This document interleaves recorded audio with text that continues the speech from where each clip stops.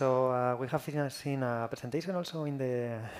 one of the important factors of the critical zone that was all the biomass. But now we are going to explore the case of the soil moisture. That is mostly this variable that is always in, in the middle of all water balances, especially for many other processes that are related not only for the hydrology, we will see some cases, but also for many other processes that are involved with the atmosphere and also with the biomass. And that's why um, when we try to use all these data products that are available, we as users face some challenges because most of these data products have special specificities. And unless you are like really uh, knowledge, no, has a, you, you really, really have a, a, lot of knowledge on these data products. There is need like to to uh, unify some of this information so that many other users can also access this kind of products.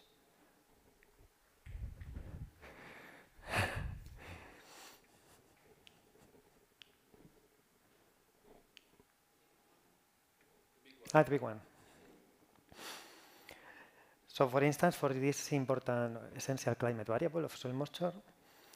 we are mainly focused on the hydrology, but it's true that apart from all these uh, studies that we have been performing with different drought indicators, with how the soil moisture also influences other important climate variables of the critical zone and atmosphere, we can see that there were examples, also a, a, workshop with the importance for hydrology regarding the, the floods and the water management, and also for irrigation, that is a, a topic that is uh, increasingly important because, as we have seen also in the workshop with Luca, is the main demand for water in most of the basins around the world. And that compromises a lot the distribution and the disponibility of water and also the stress and the risk of the society with, uh, with the water management but also for natural hazards, because uh, once there are these uh, extreme events, some of the hazards trigger, like landslides, for example. So there are also plenty of studies, uh, and also in our department very interesting, about how these rainfall events with soil moisture thresholds can trigger these landslides and other hazards. Uh, similarly, also with some new applications, like for example for uh, wildfires that we have seen in one of these publications of, of, of Luca Brocca, where we will explain in more detail later on, but is on the uh, new range of resolutions of the products that are now available with Sentinel-1. So very in the in the in the edge of the one kilometer resolution. And the same cases with the crop mo um, modeling and monitoring which are probably also in this brink of the resolution threshold, and similarly also for the environmental monitoring. And that's why uh, we wanted to make this introduction for those of you who are like not so close to the topic of the soil moisture, in order to see that it's one of these key components of the critical zone that are always taking part in all or many processes. But with all these challenges, uh, all this uh, importance, there are some challenges also due to the diversity and the, the, the, nature of the data types that are available for soil moisture, from remote sensing, but also from modeling and reanalysis and all these type of, of data sets. Especially because the soil moisture has been developed,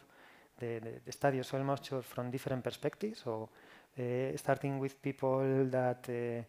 uh, define the systems for, for wind, for the meteorological um, evaluation of the atmosphere, and then they, they derive also the soil moisture from that. We have seen a very good presentation of Wolfgang Wagner this morning with the ASCAT data that as far as, uh, as, as now is the longest records on soil moisture.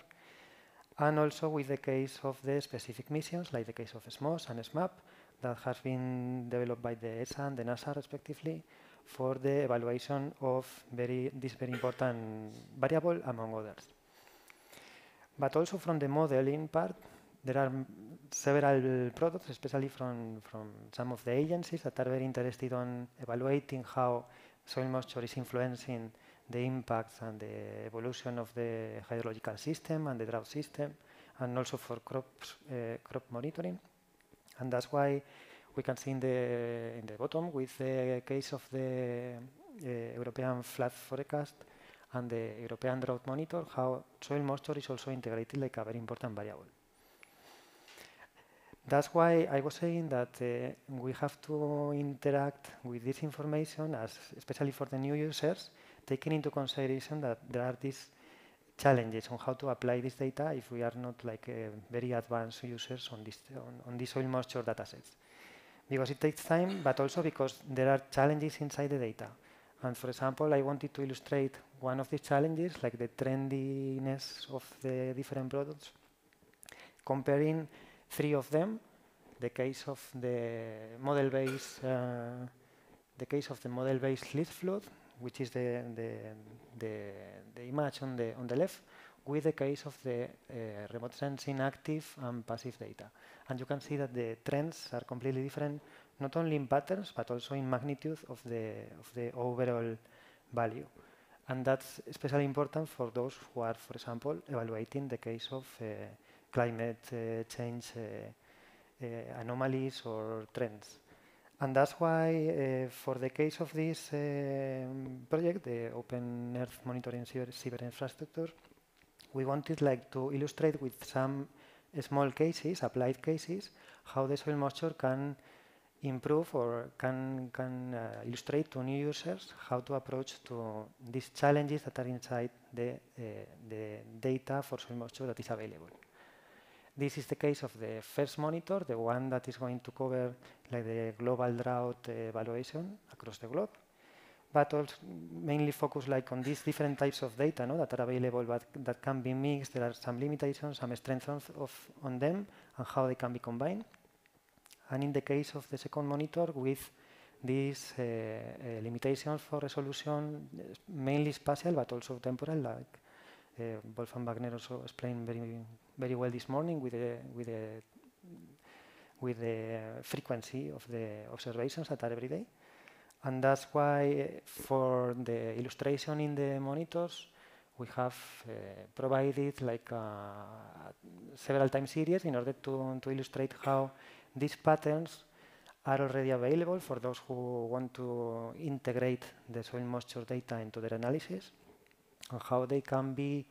uh, already very consistent and very continuous in the evaluation of the different patterns along or across a continent, not only in the case of Europe, but also in the other continents, as we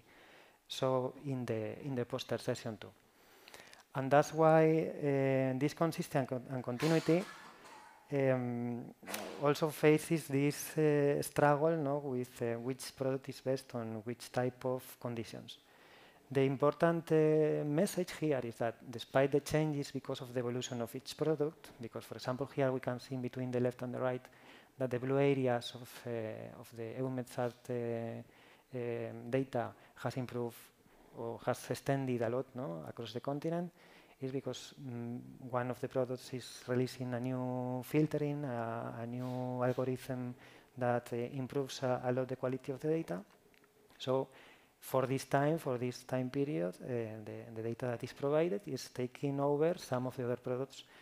depending on their own uh, nature of how the signal is, retrieved. And you can see that some of the red areas, for example, that are the ones modeled by the, by the LISFLOOD model,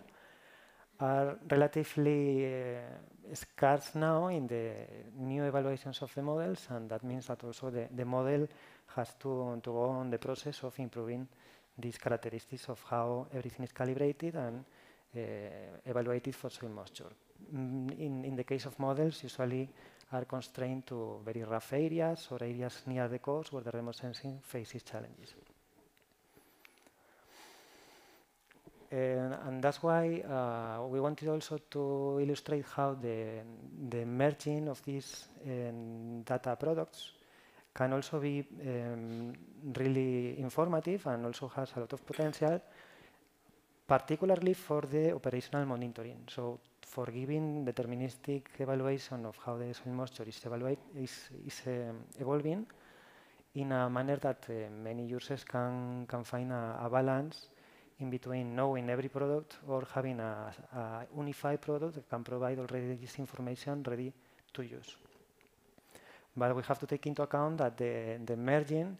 uh, in most of the cases, may improve by combining the strengths of each of the products, but in some other cases may also uh, like sum up uh, several uncertainties of the different products. In general, we can say that the, the merging that now we are still uh, improving is providing like a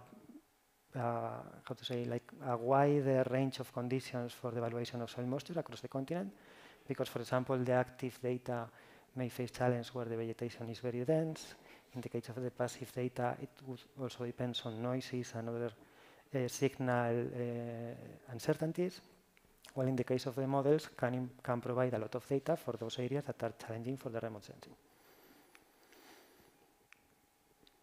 For the second case of the monitor of, of uh, water resources at high resolution, we wanted to illustrate this step forward no, on the uh, availability of data from the previous missions that were mostly at the 10 kilometer or approximately 10 kilometer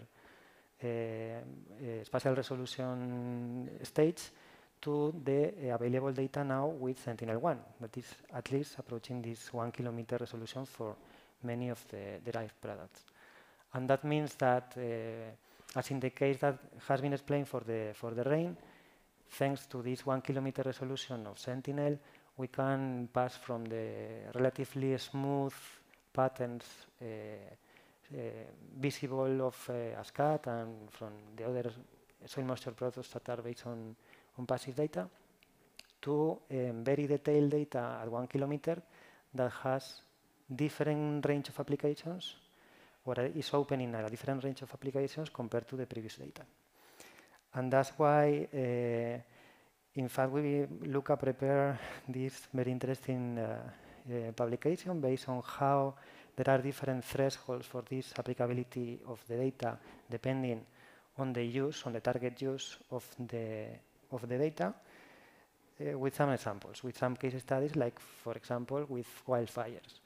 This is like several natural hazards that are occurring at the landscape or even county scale, so over the one kilometer scale, and the, the results show how before the before the, the wildfire on the image in the left, there was like a relatively homogeneous pattern of soil moisture regardless of the area that was burned. While in the case of the, of the right, just after the fire and with coming rains, the area that was for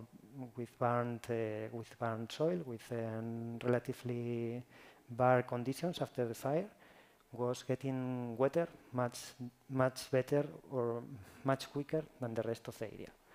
That means that if you can see the, the arrows on the top,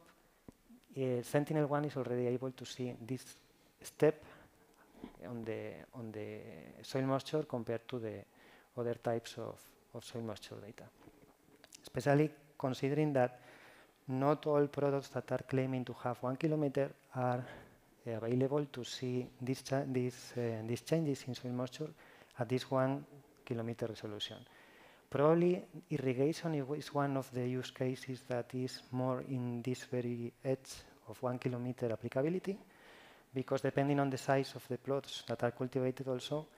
some of the products, like in the case of the blue line with Sentinel-1, are able to see the, the change or the increase in the soil moisture during the irrigation period, while some of the uh, other claim one kilometer uh, soil moisture products are not so able to see this difference. We can see the, the, the two in the, in the bottom. And that means that as a general take-home message for many of the new users of soil moisture, we have to take into account there are already very good products, either from the model, modeling part, but also from the remote sensing part, that can be integrated into our analysis, but uh, that uh, we have to, to get into very detail on how the characteristics are conforming like their usability, their applicability, not only in terms of resolution, but also in terms of continuity and consistency. And that for specific cases, like for example, monitoring or operational monitoring, it can be also beneficial to unify or harmonize these uh, different products into a single one, like uh, the case of the European Commission and other stakeholders' interest, in order to uh, facilitate the community the access to this soil moisture data uh, use and applicability. Uh, we still have to, to explore more on the characteristics of uh, these combined products, on how to merge them better, and also on how to, to make them uh, more reproducible for the community. So if the people wants to, to follow also the same uh, way of processing in order to, to um, uh, facilitate with these